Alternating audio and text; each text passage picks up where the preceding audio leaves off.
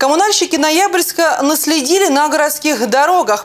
Так, к примеру, на Советской осталась дыра на асфальте после зимнего ремонта. Перед прорехой выставили знак ремонтных работ. Однако, судя по всему, латать дыры здесь, по крайней мере сейчас, никто не собирается.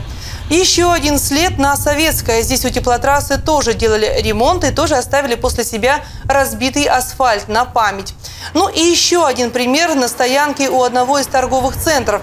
Здесь разворотили часть дорожного покрытия, но в порядок его так и не привели.